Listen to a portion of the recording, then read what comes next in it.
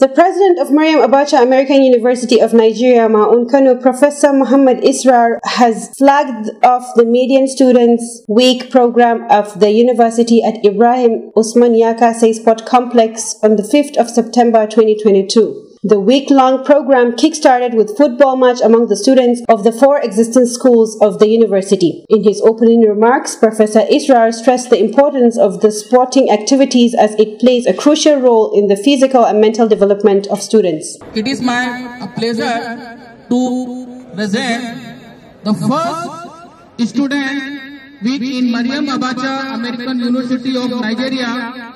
I believe that everyone present here is doing good and are super excited about first student week for good physical fitness and strength. Sport is an integral part of life.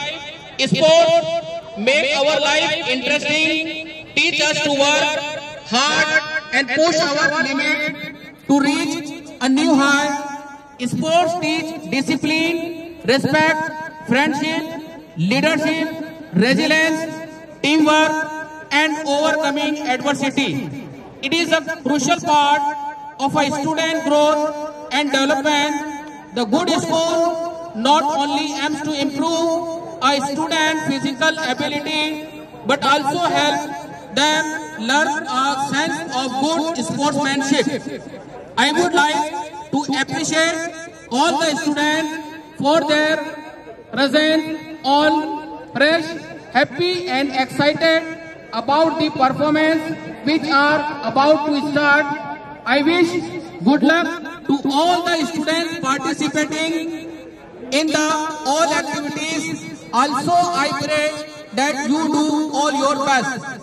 For those students who have not participated this year, I would like to encourage the next year you should participate that you can use your ability in the best way. Earlier in his welcome address, the Vice President Campus Life, Dr. Musa Lawal Jibia, said the event was designed to serve as an entertainment activity to enable students demonstrate their talents and skills in the various sporting competitions presented in the list of events during the week. Our office, Student Affairs, is always open for you at any time to bring your complaints, suggestions, consultations and advice and also counseling. The office will help in directing you on any information concerning school and is really is ready to offer any guidance to help you improve at any time. We thank all staff for their enormous support in the upcoming activities and we also thank both the participants and audience for having the time to engage in such activities.